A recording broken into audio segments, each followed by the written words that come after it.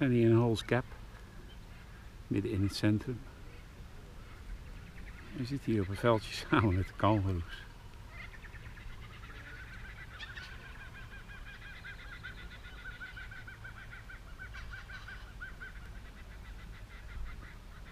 Mee zit hoor je op de achtergrond de kakken toe.